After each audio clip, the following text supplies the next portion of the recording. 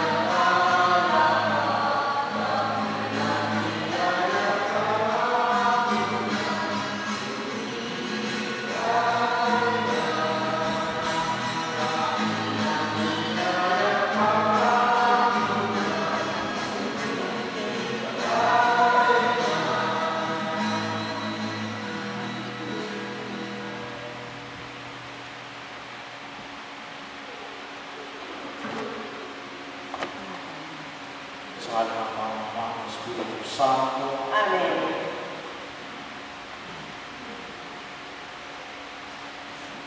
sumainyo ang Panginoon. At sumainyo. Ang matibay na pananalig kay Jesus ang sagot sa ating paghihirap at pagkatulang Ganito ang naging karanasan na kananayang nagtiwala kay Jesus para pagaluhin ang kanyang anak na sinabihan. Sa Eucharistia ito, pinapangalangan namin tayo mabiyayaan ng ganito uri ng pananampalataya upang makatulog tayo sa Panginoon na may panatag na kalooban. Mga kapatid, inipon tayo bilang mga anak ng Diyos kaya lumulog tayo sa mahuling Panginoon nagpapatawad ng Diyos. Pinugong ko naman magpagaling sa mga nagsisisi. Panginoon, tawa ako. Panginoon, kaawaan mo. Dumating na nila maganda yung mga makasanay ng magsisi. Kristo, awa mo. Kristo, kaawaan mo. Nakalugod ka sa kain ng Diyos. Ama, para pamatigan kami. Panginoon, kawa. Panginoon,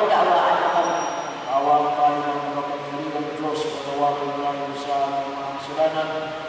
At pagpabayan tayo sa buhay na walang hanggan. Amen. Papuri sa Diyos sa kailangan.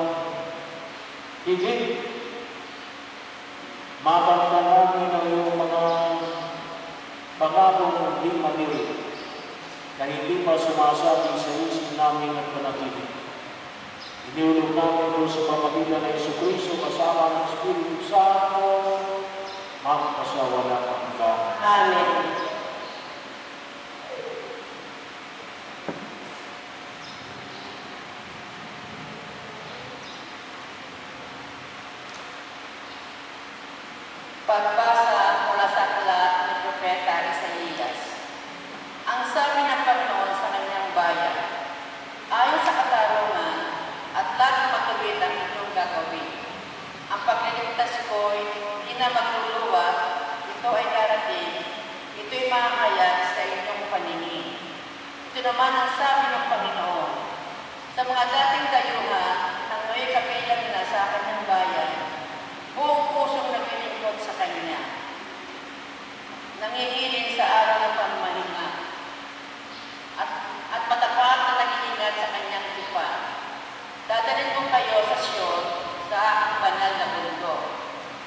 Boa tarde.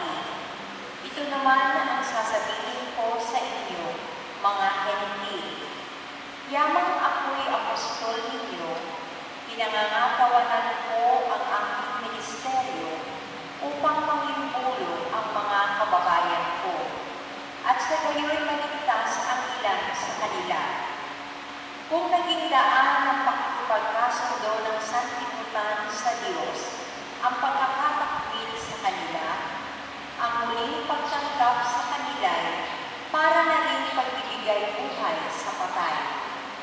Ang Diyos ay hindi nagbabago ng isip tungkol sa kanyang mga kaloob at pagtawag.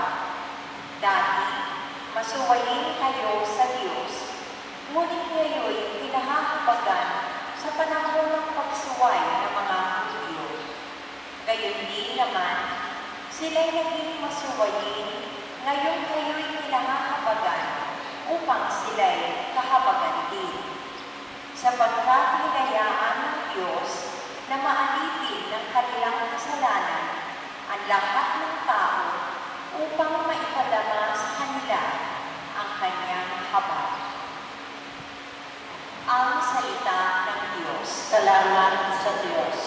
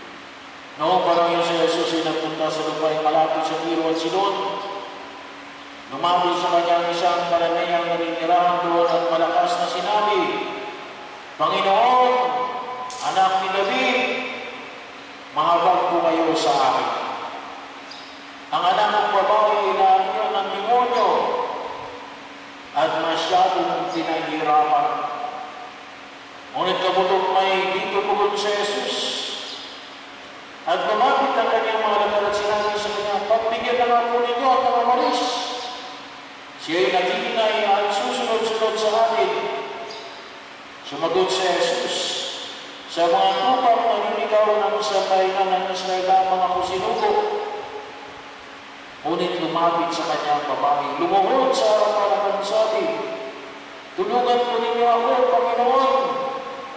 Sumagot si Jesus, hindi dapat kunin ang pagkain ng mga anak ng pangyayaman sa mga tuta. Unay na po, Panginoon, tugon ng babae. Ngunit ang mga tuta man ay nagsisikai ng mumong nalalaglag sa abang ng kanilang Panginoon. Kaya sinabi sa kanya ni Jesus, napakalaki ng iyong pananalig. Mangyayari ang hinihiling mo. At mula doon, di gumaling ang kanyang anak. Ang mabuting balita ng Panginoon. Pinupuri ka namin, Panginoong Heso Kristo. Sumainyo ang Panginoon. At sumainyo. Ang Ebanghelyo po natin ngayon isa sa mga controversial issue noong panahon ni Jesus. Alam naman natin marami ngayong uh, controversial. At kahit sa mga sinabi ni Jesus sa mga kanyang ipinangaral ay marami rin ang controversial. Isa ito. Bakit controversial? Hindi lang po ito pagpapagaling sa may sakit. Ah, o sa inaalihan ng masamang espiritu. Ito ay sa lahat ay tumutukoy sa dalawang mahalagang bagay ng pagkilos natin bilang mga mananampalataya. Nais na mahiging maliwanag ito sa mga alagad ng ating Panginoon sa Kristo at para sa atin. Kasi ito'y pagpapagaling sa inaalihan ng demonyo sa anak ng isang nanay na mananaya. So, dalawang bagay yun. Una, ay pinaalala nito ay tumutukoy sa bahagi ng pananampalataya na hindi pwedeng i-confine lamang ang kapangyarihan ng Diyos ng sino mang tao o ng sino mang grupo ng tao na yung pananampalataya ay hindi mo pwedeng sabihin na ah, ito ay para lamang sa mga Hudyo. Hindi kasama rito ang mga hindi Hudyo. At hindi ko pwedeng sabihin na no one, no one has the monopoly of faith. Not even any religious organization or sects. Hindi mo pwedeng sabihin na sa pamamagitan lamang namin kayo maliligtas. Hindi na pupuso yung extra ecclesial ora salos. Outside the church, there is no salvation. Hindi. Ito yung bahagi na binabasa ni Jesus. Kasi bakit? No, not even an organization, not even a sect can control the power of God. Hindi na lugar na hindi ka nakasabi ng simbahan na ito, hindi ka na niya binibayaan. No one can limit the power of God. Not even a religion. Not even a group of people. Kaya huwag kayo maniwala sinasabi na kami lang ang maliligtas. Kaya huwag mo kayo manibago kasi sinasabi ng ibang set na kumisa, kami lang ang maliligtas. Hindi na ang bago yun. Yun din ang isipan ng mga Hudyo. Salvation comes from the Jews and only for the Jews. Bagamat po yung unang pagbasa sa aklat ni Propeta Isaiah, nakita po natin na kung saan dito po ay na kung alin ang mga banyaga ay sasampa sasampa sa Jerusalem. Yun yung pangyayari natin sa unang pagbasa. Na ang lahat ay sasamba. Kailan? Sa pagkaunawa ko kasi may dalawang usapin dito eh. Ito, ito bang mga foreigner na ito ay maging mga Hudyo? O siya retain yung pagiging pag-aano nila? O kinakailangan ba itong mga ito ay ay kinakailangan makapag-asawa ng Hudyo. Kasi napakalakas ang kinakailangan sa kanila, mapahirap ka ng dugo ng Hudyo. Bago ka maligtas. No? Bagamat po sa templo ng Jerusalem, ang sinabi ko sa templo ng Jerusalem, merong pinakalang likuran. No? Kaya doon sa likuran, may harap pa rin. Doon pwedeng magsapat yung mga hindi Hudyo. No? Kaya, nasa out, outskirt pa rin. It is not the main temple. Pero nasa temple pa rin. Pero sabi nga natin, kaya sa sulat, hanggang minasak na yung isipan natin. You could not contain the grace of God in a single church or in a single faith.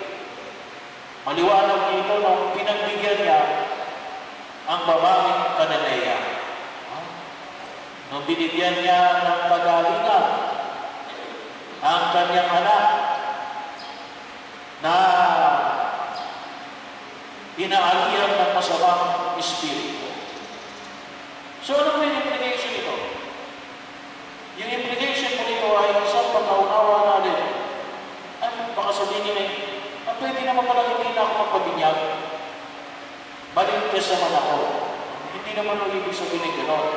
Ibig sabihin, yung aking pananampalataya, pinaninindigan natin natin ang malaking maitutulong ng ating pananampalataya para makamit natin ang kaligtasan at dulog ng ating Panginoong Kristo. Bakit?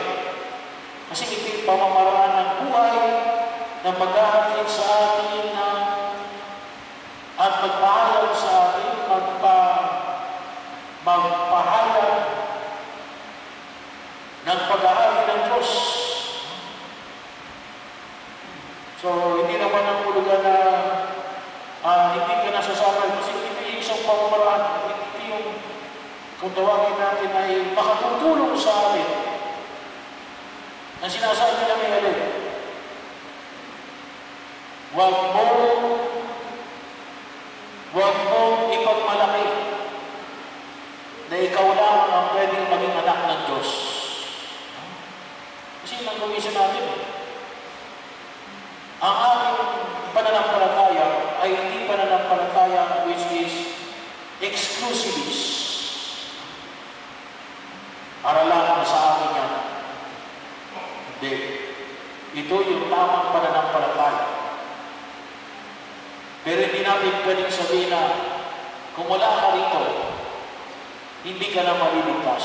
Bakit? Our faith is universal. Catholicity. Yun ang ibig sabihin, Catholicity. May Catholic imprint na babahagi yun na kung saan kung maaari, lahat ay maliligtas. Kung maaari lang sana ang lahat ay magkamit ng kaligtasan. Even those who does not belong to the church. Kinakailangan ng ating isip, pwede silang maligtas. Baka nga mamaya, baka nga mamaya yung mga hindi kasama, mayroong iba na may kasabi na simbahan na mas malakas yung pananampalataya kaysa sa atin. Ay, isang halimbawa na nga rito, yung babaeng kananaya. Kaya ano sabi ng Jesus, napakalakas ng iyong pananalig. Rin yun ang huwag namin kalimutan. Our mentality should not be inclusivist. Kami lang. Tayo lang. No. It should be inclusivist. We should include the many as most, as at most. The many, the merrier. Kaya po bahagi ng pagkilos na ginawa ang makita po natin. Kaya hindi natin sinasarado yung simbahan natin kapag tayo nagdiriwang ng ating celebration. Kaya kahit na late ka, pwede ka pa rin pumasok sa simbahan. Ay, ini-include. Yun yung mentality ng simbahan. We include. At sana hindi po yung mentalidad ng bawat member natin. Hindi yung itinataboy natin. Dapat makita natin na inaanyayahan natin. Pinapalapit natin sa Diyos. Bakit? Kasi pwede rin naman kasi yung biyaya ng Diyos ay pwede din naman makamit doon sa labas. Kahit na sinasabi natin na mas malakas dito, parang wifi. Masabi natin yung wifi, mas malakas sa loob ng bahay ko. Kahit sa labas, pwede. No? Ganon. Yung mentalidad. Kaya yun trabaho yung makita ko. The idea of the Catholicity. Universality. No one can contain the grace of God to a single faith or to a single church. Hindi mo pwedeng limitahan ang biyaya ng Diyos sa isang simbahan lamang. Pangalawa, bahagi po ng ating pagkilos na makita po natin yung ang sabi ko nga ay yung pananalig ng babae ito na nagpapaayaw ng alin na kadakilaan ng dakilang awa ng Diyos. Yan tayo meron tayong devotion of the divine mercy. Ang dakilang awa ng Diyos. Ang dakilang awa ng Diyos. Alam niyo, isang magandang elemento rin ulit, yung graphic representation ng mumo. No? Alam niyo yung mga nanay, katulad ng babaeng karanayan ito, nanay ko eh. Kahit mumulang sabi nga, alam niyo, yung mga nanay, sila yung kumakain ng mumo ng kanilang mga anak. Di ba? uh, natapos yung anak kasi kami yung anak kapag kumain, ang daming tira, no? ang daming buko. Sino ang ubus dyan? Ay, yung ating experience, yung mga nanay. Yung mga nanay yung kumakain ng buko. So, kaya po yung mga nanay, naiintindihan nila yung kahulugan nung sinabi ng babae ng kananaya, ng nanay na ito, ng kananaya, kahit buko lang, Ganun yung kanyang pananampalataya, kahit buko lang, kahit tira-tira lang, kahit kakapirang lang, sabi nga, kahit nasubi lang, or sabi nga namin, kahit latak lang, yun yung pananampalataya ng babaeng pananaya. Namin, tumutukoy sa atin sa dakilang hawak ng Diyos. Kasi bakit? Eh, kahit nasabihan na siya ng ating Panginoon sa Kristo ah, hindi dapat ibigay ang pagkain na dapat sa mga anak ay ibibigay sa mga aso. So, hindi na insulting babaeng kananaya. Kaya sabi kahit pangulang, ay nahulog yung sabak ng mga anak. Kaya, yun yung pag-analyze. Well, nung una o, makikita namin na rin, ah, ito nanay nito, which is really the feeling of every mother, na rin, gagawin ang lahat para maligtas na yung kanyang anak. It is the human nature. Human nature yun eh. Bahagi ng mga tao, tao yun eh. Gagawin ang lahat para rin, maligtas yung anak. Oh, ang dami yan. Ang dami yan, maligtas lamang yung kanyang anak. Napakaraming kwento niya. Sigurado kayo ay meron din mga kwento. Gagawin ang lahat ng nanay. Maligtas lamang yung anak. Nanay, bahagi yun na kung saan yung nakita natin. Yun, siguro sabihin ko, hindi, naman pala ng palataya yun eh. That is simply human nature. Ah, siguro sa una ho. Pero sinabi ni Jesus na hindi dapat ibigay ang pagkain na nakalaan sa anak para sa pagkuta, ah, hindi na human nature yan. Pananampalataya na yan. Kasi bakit?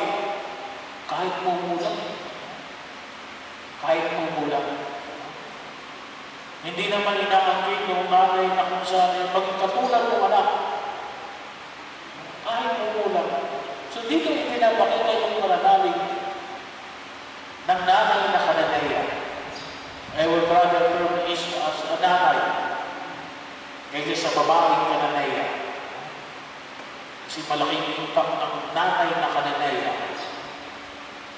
Makita po natin na yun yung kanyang mga kahit mumulang, Panginoon, kahit mumulang. At makikita po natin natin, yung pagnanais ng isang nanay na maligtas ang kanyang anak.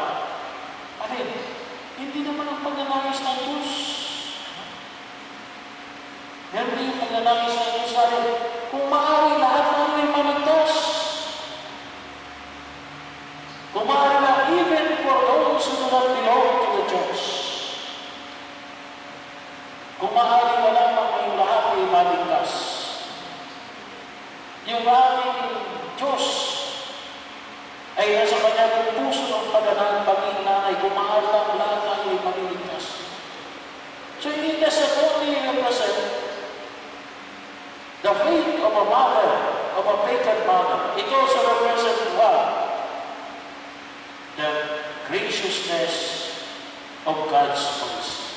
Hindi na, sino bang may karapatan na maligtas? Walang may sino man sa atin na may karapatan na maligtas. Bahagi yung kung saan ang nakita mo natin. Pero nagkamimitan ng kagustuhan ng Diyos. Nakatulad ng nanay, gusto niya kung maaari lahat ay magkamit ng kaligtasan. Kaya, makita po natin. Bakit? Siya pa ay dapat manalig. Manalig tayo siya sa kagandahan ng Diyos. Sa kanyang wala hanggang pamamahal. Kaya po sa patalangan natin, sinasabi natin sa pagkalan natin, Panginoon, kapag nag nagawa tayo ng pipre-pasyo, na huwag mong tingnan ang aming pagkakasala. Ngunit, tingnan mo ang aming pananampalataya. Pero kami, hindi we really believe. Gaano kalalim ang aming pananampalataya. Namin na parang kahit kukulang? No? Kasi ngayon, iba yung pinangawa natin. Eh. Marami tayo ngayon na tundahan. Nakakalimutan namin tundahan ng Diyos. Kaya patuloy kong paanyaya to please remind your loved ones. Alin? Na puntahan ninyo ang Diyos kasi marami tayong pinupuntahan. Pero tanongin, pinuntahan ba natin ang Diyos? Hiningan ba natin ang tulong ang Diyos? Alam niyo, kumisan tayo may mga kwento na ah, nagpagaling sa albularyo. Pagdating niya sa albularyo, ang sabi sa kanyang albularyo, magsimba ka pang araw ng linggo. Buti pa yung albularyo. Pinapaalala sa kanya magsimba pang araw ng linggo. Pero di ba, pinuntahan mo na yung albularyo bago ang Diyos. Eh kung isa na yung pumunta natin, marami tayong pinapuntahan. Sabi mo, may problema natin sa droga. Why? Inalis kasi natin sa ating picture ang Diyos. Kaya marami na punta sa droga. Inalis natin ang picture ng Diyos sa ating picture, sa ating canvas ng Diyos. Kaya rin, marami nang pumapatay ng mga gumagamit ng droga. So, kaya ano sagot? Lumapit tayo sa Diyos. Kasi yung pagliligtas ng Diyos, pagliligtas ng Diyos, hindi lamang doon sa biktima ng mga nagdodroga. Yung pagliligtas ng Diyos, yung rin, kung tingnan natin yung isipan, naisip yung ligtas ng Diyos, yung rin. Yung mga nagdodroga. No? Lahat, kung maaari. No? Lahat ay kung maaari. May maligtas ng Diyos. Yun ang yung panalangin namin. Sana kahit kumulang, kahit kumulang Panginoon, ipanalangin natin na sana kaya na yung aming pananampalataya, kahit na lamang kasing laki ng buko. Kaya yun ang idalangin natin, Panginoon, bigyan tayo ng lakas ng pananalig katulad ng nanay na ito ng Kananaya na humihingi ng tulong mo na kahit lumulang ay iyong ipagkaloob. So ito po dalawa ko, no? ang maging bahagi sa atin. Una, yung inclusivity of our faith.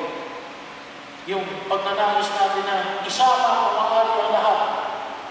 Pangalawa, makita natin na yung lumapit tayo kay Jesus sa ating Diyos na alin na sa kanyang walang hanggang awa na nagnanais niyang iparamdam ang kanyang walang hanggang pagliligtas na kung maaari ay makamit ng mas makalagaw.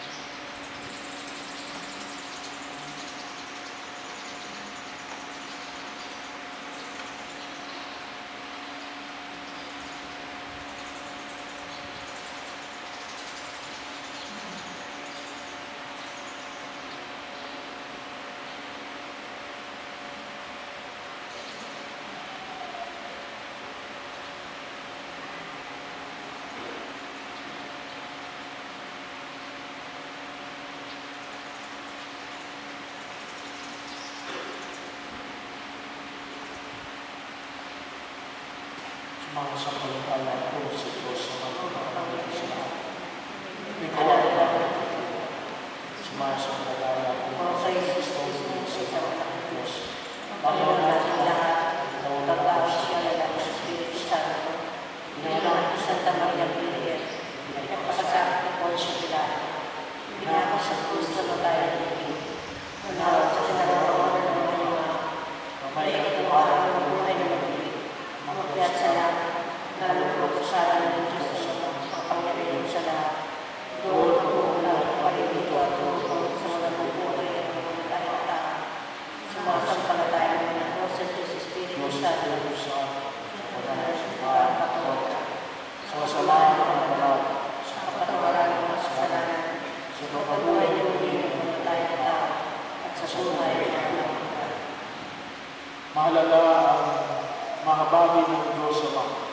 at magpagmahal ng kanyang mga anak sa kanyang mga anak.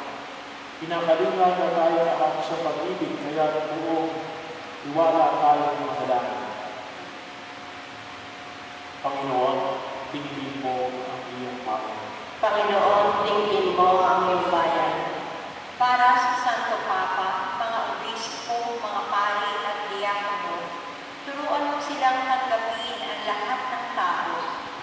kayo'y mabuwag ng pagkakabahagi ng pikiran sa aming mga pamayanan. Manalangin tayo.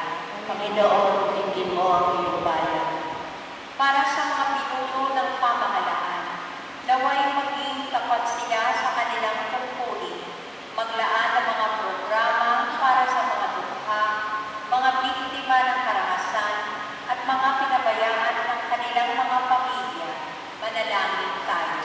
Panginoon, tingin mo ang iyong bayan. Para sa mga magulang na nawala ng mga anak dahil sa sakit, kalamidad, extrajudicial killing, at digmaan, naway tulad ng babaeng kananea, makadama sila ng pag-asa at pagmamalasakit mula sa kanilang komunidad. Manalangin tayo. Panginoon, tingin